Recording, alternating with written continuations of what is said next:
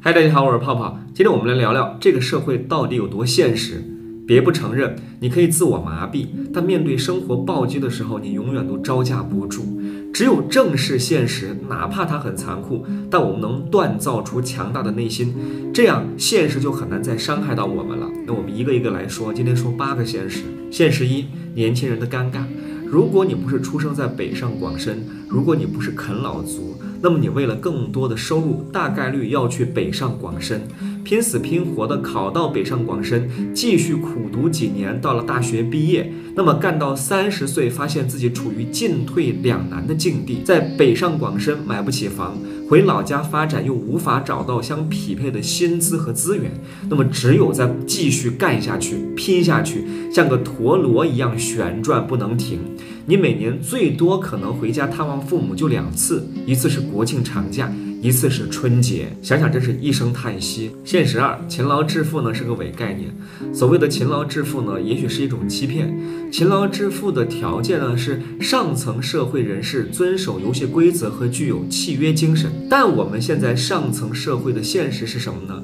上层人是指制定游戏规则或者杜撰契约案例，底层人呢傻不拉几的奋斗几年，遵守他们制定的契约，刚攒了一点首付给了地产商，每个月还要。给银行进贡，咬牙还了十年、二十年的房贷，交了三十年的社保，老了除了留给子女一套房，除了自己有一些疾病之外，可能什么都没有落着。现实三，利益交换。我的一个哥们儿，他去驾校学车，每次他都给教练带一包烟，他说教练对他可耐心了，而教练对其他学员都是大吼大叫的。人间真实从来不从原则出发，利害关系才是王道，原则只是一种装饰，一种说法。这都几千年了，不会因为谁而改变。我们经常遇到这样的情况：当我们找人办事儿的时候，一开始他说：“哎呀，这个事儿我拿不准，等我走个流程吧。”哎，你回去等吧。那么我们傻傻的回去等消息，这一等可能是两年、三年，可能杳无音讯。但如果你给他送两条华子加一瓶好酒，哎，可能一个星期流程就走完了，就这么现实。现实四：好人和坏人的区别。坏人比好人勤奋，他们天天都在琢磨事情，活动能力很强。好人下班了，看电影、打游戏、哄孩子；坏人下班了，他的脑子还没有停，他在研究领导的心理走向，在研究敌人的克星是谁，自己的伯乐是谁，靠山是谁。好人创业就是老老实实的做事情，坏人创业天天研究琢磨怎么灵活使用工具，怎么去抱大腿，怎么去钻政策的空子，怎么去送礼。现实五，所有人都爱钱，为什么所有人都爱钱呢？因为钱可以解决人的焦虑。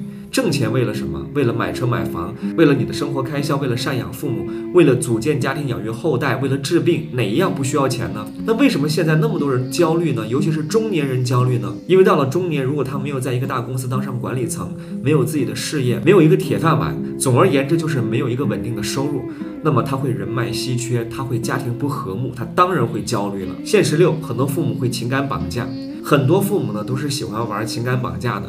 把自己的无能包装成感情、恩情，强行绑架给孩子身上，让孩子背上一个完全没有必要的负担。比如说哈，他们会说：“你看我们这么辛苦的供你上学读书，为了你，我们没有升职，没有加薪，没有去追求自己的生活，这辈子就搭在你身上了。”还有说：“我当初就是为了你不离婚，要不是为了你，我早就有更好的发展、更好的家庭了。你可千万要理解我对你的良苦用心了，你可千万要报答我。”现实七，没有人无缘无故的带你发财。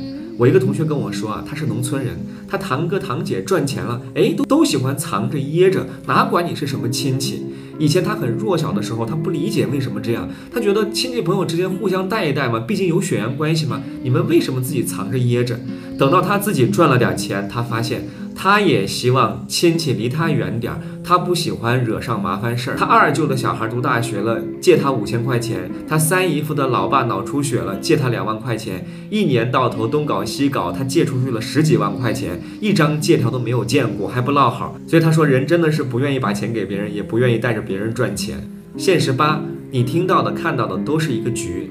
这个世界是由两套秩序组成的。第一套规则呢是公平、正义、道德、礼节；第二套规则呢是潜藏在背后的利益斗争。